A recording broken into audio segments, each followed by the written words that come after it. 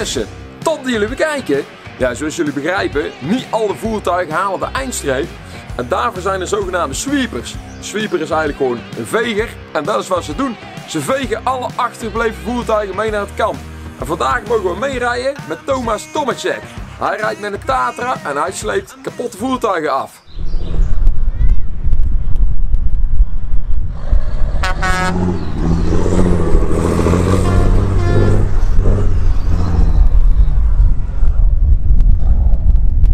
Daar gaat hij. De duinen in. Nou, laten we maar hopen dat we hem dadelijk niet los moeten trekken. Net een nieuw bericht binnengekregen. Zo knippen nu rood.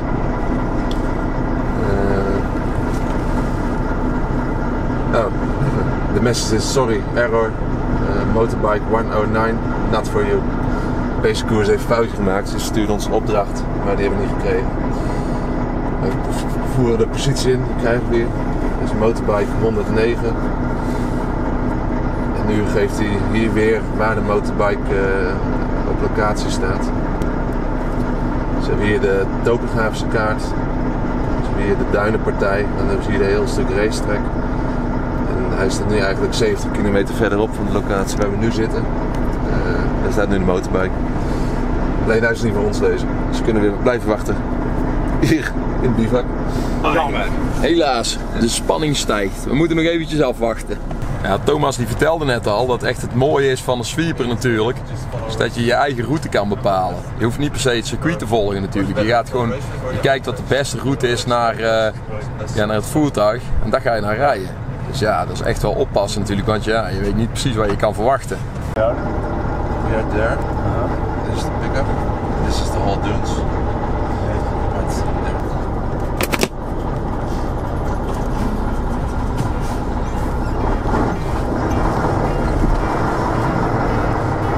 We gaan nu 7 kilometer eh, de duinen in. Over het circuit.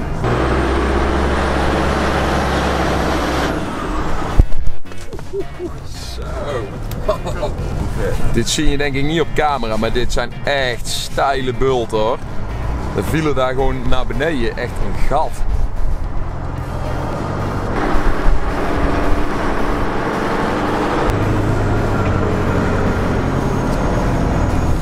We zijn dus nou die SSV aan het zoeken. Die moet hier ergens in de buurt zijn, maar je kunt echt niks zien door al die duinen. Dus het is ook voorzichtig rijden natuurlijk, want als we in één keer over zo'n kam naar beneden kiepen, ja, misschien dat hij daar wel, eh, wel staat. Ik geloof dat eh, de rijders die zijn al door de helikopter opgehaald, als ik me niet vergis. Alleen het voertuig is er nog. Eindelijk jongen, je moet.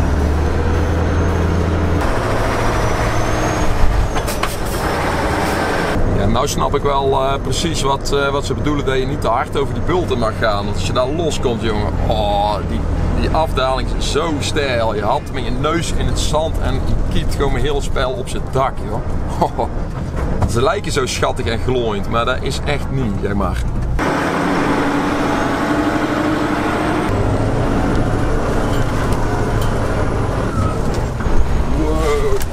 Dit is echt een achtbaan, jongen. Otherwise right.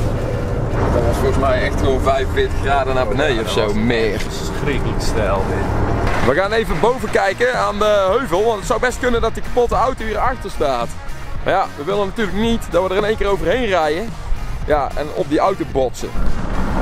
Hoi!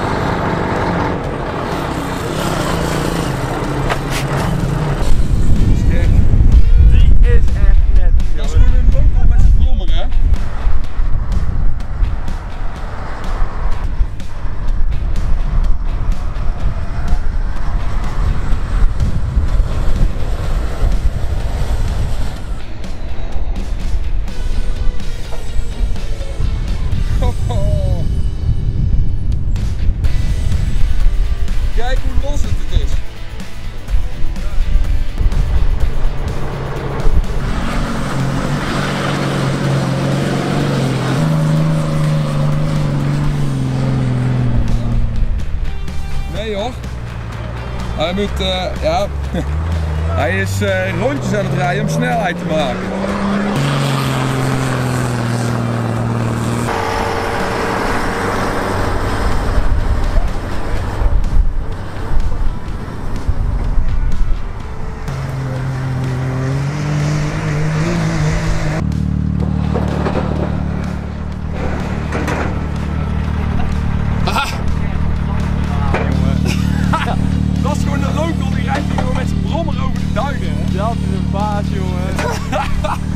Dat is echt niet normaal. Ik- Gewoon een kerel komt met zijn brommertje even hier. Kijk hier. Hij rijdt hier gewoon met zijn brommetje doorheen. Hij komt overal. Ja, hij rijdt gewoon waar hij wil. Het maakt hem gewoon niet uit. Daar is de navigator. En de, de rijder die is net met een helikopter eh, afgevoerd. Dus. Dus aan de andere kant behoorlijk scherpe hoge duinen. Die zijn natuurlijk heel scherp door de wind. En eh, ja, we hadden een goede vaart. We waren natuurlijk eh, hier vrij in het begin ook. Dus was de sporen waren redelijk vers. En dan reed je hard. Ik zag het, ik voelde het al dat het hard omhoog ging. Ik zei nog stop, maar ja, het waren er overheen. Ja, en die buggy, die motor zit achter. Dus ja, die komt dan mee. Nou ja, en toen was het eh, tellen. 1, 2, Oh, dus hij hapte met Drie. zijn neus uiteindelijk. ja, maar veel te snel al, dus ik wist dat het hard zou gaan. Dus eh, ja, dan hopen dat hij, dat hij stil komt, maar het verbaasde me dat we nog zo lang doorgingen. Dus het was maar goed vast zitten klemmen en dan, ah, en dan nou ja. En dan kijken, even vol van de adrenaline. Op een gegeven moment van eh, doordraaien hier, eh, we reden daar omhoog en gewoon door. En eh, op een gegeven moment gaan we toch naar vast te zitten, naar beneden toe. Ja, het zei God, om mijn rug, mijn rug. Zei, nou stoppen dan, kop, check, check. Ik zeg, we gaan niet gekke dingen doen, eerst checken hoe je bent. Ja, toen heb de adrenaline weg en toen, ja, ik denk toch iets met de rug. Opgaan, helikopter, helikopter nu. Ja, maar hij, want hij, hij is een aantal keer gerold dus. ja. Ja. Je ziet het, hè, de draag, de draaggang kapot. En Ja. de rest valt er mee. Dus Ja. Dak is flink gedeukt. Denk Ja, ik, de, de, de aandrijfas volgens is afgebroken. ja, De steekas eh, is afgebroken. Nog sturen. Ja, hij wordt ondertussen aangekoppeld de wagen. We gaan hem erop lieren. Ja, die probeert ondertussen nog weg te komen uit de- eh, deze duinpan, maar het valt niet mee. Het is zo los het zand.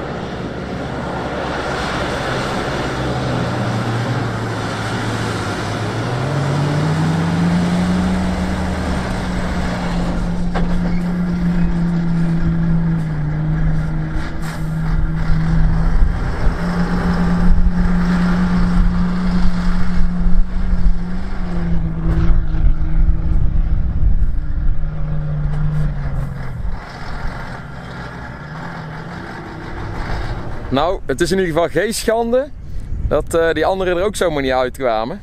Want eh, schijnbaar hebben wij ook nog een probleempje. Oh oh, dat wordt duwen.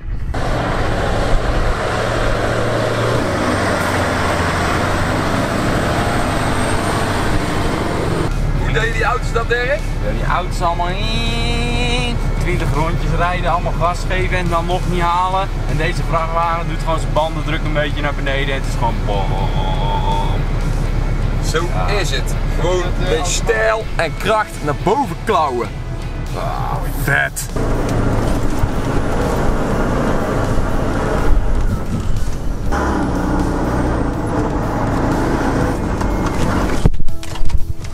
Dat was een hele steile afdaling. Ze zijn ondertussen even aan het overleggen volgens mij over de route. Eh, dat is niet helemaal zeker, want dit is volgens mij een behoorlijk lastige duinpan waar we nu in staan. iets om exercise. Dit wordt spannend, we staan stil op de duinkam. Oh, ja ja. Banddruk wordt afgelaten.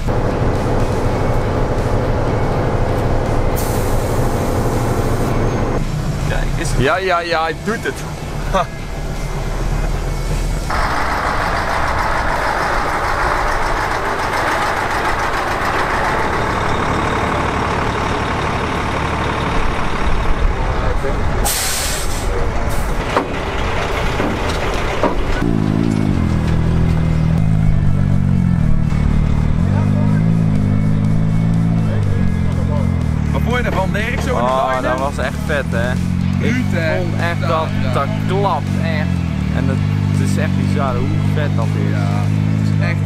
Het is echt ongelooflijk. Het is echt net dat je bij de schip op zee bent, hè? Echt een wilde zee. Dit Ja, echt, je weet gewoon niet wat je verwacht. nee. Op een gegeven moment gaat het omhoog en dan denk je van ja, dit is een stijle hè. En dan is het helemaal niks en dan heb je het niet door en dan flikker je gewoon 5 kilometer naar beneden man. Zo, dat ding dat kiept een partij naar beneden af en toe. En je hebt ook, het is ook heel moeilijk om te zien hoe stijl alles is. Waarschijnlijk kan je het op de video helemaal niet zien.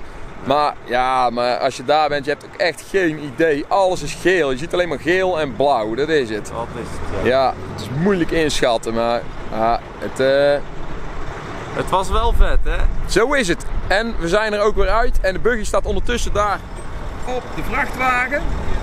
Ehm, ja, we kunnen met Thomas wel meerijden misschien, maar is voorlopig nog niet terug eh, naar de Die gaat volgende. nog een paar rondjes maken denk Ik wou net zeggen, het kan best wel eens dat het laat wordt. Want ik heb ook gehoord dat hij van eh, een paar dagen geleden gewoon in de duin is overnacht. Om, eh, ja, dat het te laat was om terug te rijden. Dus ja, laten we dat dan ook maar. Zo. Geen werk voor watjes in ieder geval. Ha. Zo. We staan hier met eh, Thomas Tomacek, eigenaar van, eh, van deze Tatra. En eh, Art, die is van de organisatie, de navigator. Very, very nice experience. I never been in the dunes before like with a truck. Yesterday I saw dunes for the first time, so this is uh, this is quite an experience. So, but you you're not every time a sweeper. You're a Dakar rally truck driver yourself. How, how did you start it with it? How it start? Uh, firstly, I, I want to do it. It's, it was my dream, and now I'm realize realize my dream. Realize realize my, my dream, and uh, I'm very happy that I can show what Tatra could do in in this sand. And I I I feel few moments I scared, but we survived it. Let's let's go to to another client. You wanted to drive with a motorbike, right? Yes. When you, when you was, was much younger. You, Yeah, you drove like 20, 20 years rallies, right? 25 years ago, I want to go to Dakar like a biker, but uh, it was less expensive in this moment. And uh, but my father uh, forgot uh, to cancel me. It's impossible because I was a student. And when I finished the school, I bought old Tatra and starting to make a race like track trial. It was 25 years ago. It's so long time. And then I starting to after the graduate in university, I started to work in a Tatra sport department. And my first Dakar was like a navigator of Carlo Lopre. And we won the Dakar 1995. It was edition Granada Dakar 1995. And 1996 I also be with Carlo Lopre and we was second. And 1998 he was I was also in Dakar, but uh, in Mali the bandit uh, stopped us in the in the desert and they, Like like uh, robbers. yeah, and yes, rob- robber, rob- and robber our ca- truck, and th- th- therefore we cannot finish the, the, the rally because we don't have a truck. The truck may be somewhere. They, they stole the, the rally truck. Yeah, it was, it was uh, 20, year- 21 years ago. It was it is all history. Oh, that's and, crazy. And since 1999, I started to ma- make my private team to be independent like this. And since then, I did do the Dakar 1999, 1000, 2000, 2001, 2002, 2003, 2004. I did also two, two um, uh, rally in Argentina, but I destroyed the truck. And next, I 11, 2011, 12, 13, 14, 15, 16, 17, 18, 19. I was in Africa race, like uh, in Old Dakar with Anli Schuster, to support this uh, this idea of uh, uh, Thierry Sabine. This is the founder of. He's the founder of Dakar Rally, and I'm very happy that this this rally exists. That I can go to Lake Rose, mythical Lake Rose, where is all really all Dakar finished. If you know, this is a Lake Rose near the Dakar, and Dakar is the capital of the Senegal. You know it. That's all. That's a- And and you're you're, you're a single driver, right? Many Yes. many truck uh, trucks drive with a driver, uh, the the navigator, and the the mechanic, but you're doing it all by Yes, yourself. Like like a biker, because biker is also only one alone on the bike. It's normal. Like I, I would like to try this this situation in, in the truck. Yeah, but I did two, two times it, and last year and this year in Africa race. And last year I was second one, and this year I was five fifth one. But it's, it's a heavy job. I see you when you're driving and you're deflating the tires at the same time and then navigating everything at once. That's You, you saw now what Yeah, you have to do, and also navigate together. indeed, yeah. But it's, that's uh, that's a hard job, I nice, guess. yeah, Yeah, indeed. I like it. yeah, that's that's a real challenge. And uh, also changing tires by yourself. It's like a normal team. They have three, well, three people to change a tire. But my, my wife uh, told me that I'm strong man, and I believe that. Yes, you are. You must be. That's. Uh, I'm. Well, I'm really impressed. You- Thank you. Thank you. Thank you also. Die Tatra dat is een brute wagen. Mooi hoor. Van oorsprong uit eh, Tsjechië. Onafhankelijke wielopvanging. Helemaal modulair opgebouwd. Ja, tegenwoordig in samenwerking met DAF. De motoren en de cabines, ja, dat is, eh, dat is eigenlijk DAF. En laat nou toevallig Truckland dealer zijn ook van Tatra. Dus als jij wil sleutelen aan deze brute wagens, dan moet je even daar kijken bij de vacatures natuurlijk. Ja, gisteren heeft eh, deze wagen ook nog gereden. Wij hebben hem niet meer zien binnenkomen. Wij waren zelf laat. Maar eh, 17e plaats, één band kapot. Geen spannende dingen. En ik moet wel even zeggen, dat is echt een degelijke truc. Wat verdikken. Wij hebben hier veel teams zien lassen, zien beulen, versnellingsbakken zien wisselen. Deze wagen, kleinigheidjes en gewoon knallen. Vet man. Hey mensen, bedankt voor het kijken en tot de volgende.